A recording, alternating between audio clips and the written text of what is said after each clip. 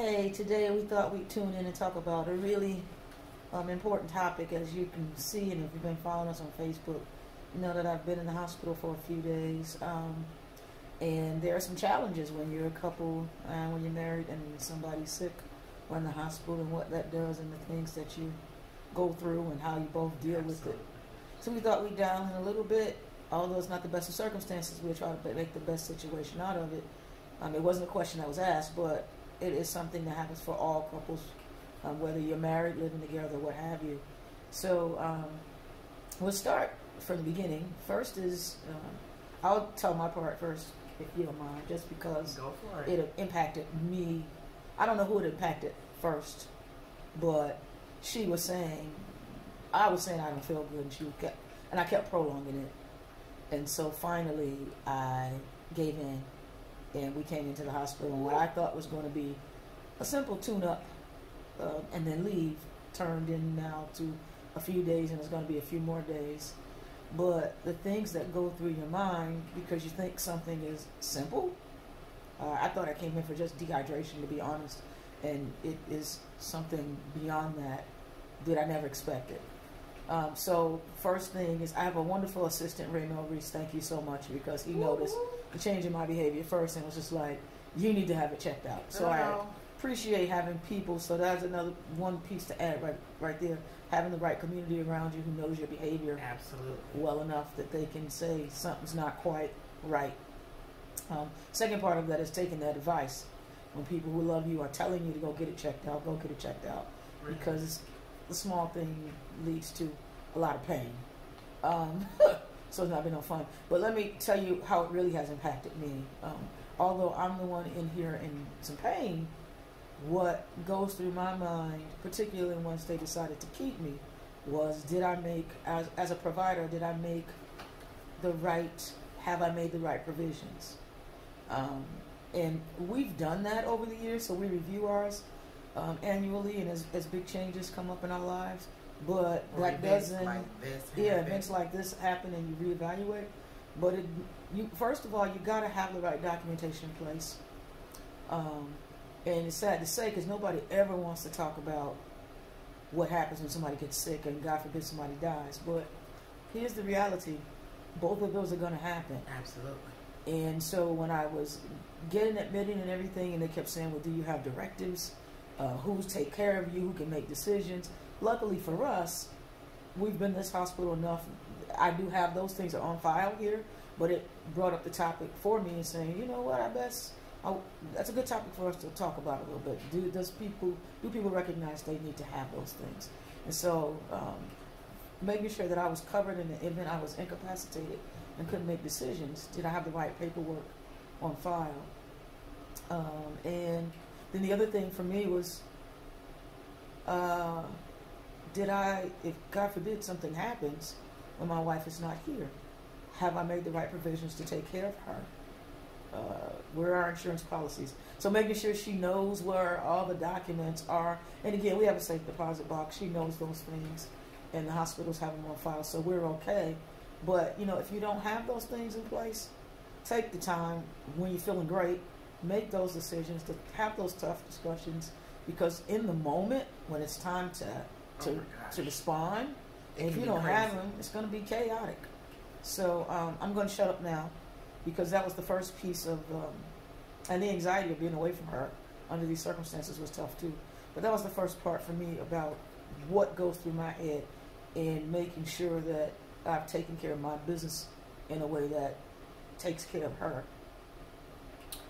Okay, so I to give you my perspective. Uh, earlier on, um, we posted on Facebook. I said the two perspective was one, the person that's actually sick, which is the provider, which she is the main provider, but also the caregiver. From my perspective, it is. Um, from my perspective, it, I, you, you as a caregiver, I've learned that I have to be very patient, and I have to be very understanding, and I need to listen because I will, in the past, I have let my emotions take over and it has caused more damage than any good. So, as a provider, you have to keep a cool head, you have to listen and get all the details. and then once you get all the details, then you then you can assess the situation. So what I'm learning, uh, we one one or two things that we've learned in this process, this right here, is that having, like she said, all the proper documentation in place. Prior to this marriage, I did not have life insurance. I did not have um, a process in place. If I had passed away, it would have been on the state. But one thing that I've learned and I appreciate from Lisa and being married to her is that things have to be in place. You have to prepare for it. Let's prepare for it before something happens. Like she said, if you try and um, analyze or figure out the process or what to do in the midst of it, it gets crazy. So having the documentation in place and knowing where it is is key. We have a firebox that we have in the house that has copies of everything that's under lock and key. And we also have the PO, the um, safe, deposit. safe deposit box that's at our bank. So definitely check your banks because you can at certain banks you can get a free uh, safe deposit box because you have an account with them. So check that out too. I'm always down for free. Free 99 is the best price for me. All that to side.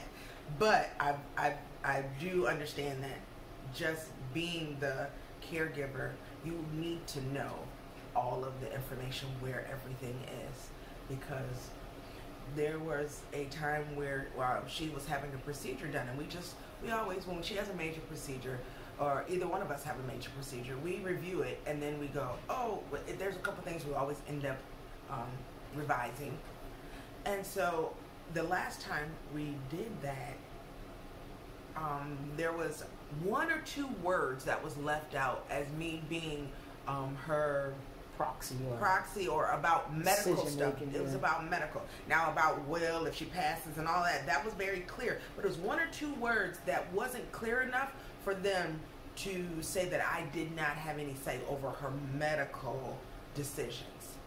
Make sure that all of the jargon and the words are actually on point. See a lawyer, have them review it. Make sure that all your I's are dotted and your T's are crossed because it is very, very important. Yeah, I was going to say, we're not financial advisors, we're not legal advisors. Nope. We can't tell you what some of our experiences have been. So we're going to say, yeah, put yourself something together um, and then have somebody else review it to make sure that your bases are covered because you don't want to have the jargon for one state because each state can be different. Absolutely. Uh, Rasheida mentioned in a Facebook, I heard her earlier in a Facebook, uh, she was going Facebook Live and she said, you know, there are certain states who uh, well, the government recognizes us, right, in the United States now as being married. But there are still states, like we live in Indiana, and there are laws on the books that say you can be fired, all kinds of things. So you never know where there's a loophole that nullifies your marriage. So that's why you need to have those documents in addition to um, your marriage. And particularly if you have children and Absolutely. you have assets and those kinds of things. There's a great movie, If Walls Could Talk, if you haven't seen it, that's exactly what. Uh, go see if Walls Could Talk one and two, because for same-sex couples in particular, it takes you through and lets you see some of the horrifying things that you may have to face if the documentation is not correct. And in terms of you know regular couples, it doesn't matter. You could be together and straight uh, and married, and somebody can challenge you on the custody of your own children. Just make sure you have the stuff sewn up so that there's no problem. That those things are not far fetched. They happen. Yes, people, grandparents have rights. People have rights these days. You have small children, they could find themselves in the middle of custody battles and things like that, and it just makes things worse. So uh, this episode really was about taking care of your business, or I, we used to say minding, minding your, your business. business, minding your business, mind your business. Yeah, and just making sure that your things are correct. So um, again, hopefully this is helpful. It's not the best of circumstances, but it is an extremely important topic. So we just wanted to take a moment to uh, say, get the paperwork done. It doesn't even take that long. Uh, matter of fact, a couple of quick quick hints. Go to Staples, Kinko's. I don't know about Kinko's, but Staples and office supply stores. They have those kind of pre-formatted documents that at least will give you the basics. Right. Um, the basics so that you can start filling stuff in and then take it to somebody um, to have it notarized. Funeral homes, banks, they notarize bank, your bank things like that. Hospitals won't do it on site because it's kind of a conflict of interest. So um, do what you need to do, but get something so Right. that you're not in a pickle. All right. Thanks for tuning in. Hopefully this is helpful. Hopefully in the next couple days we'll get back to some happier segments. But this is probably one of the most important segments Absolutely. we'll do. I, I completely agree. All right. God bless you. God bless. Happy New Year. Happy New Year and take care. Bye bye. Bye.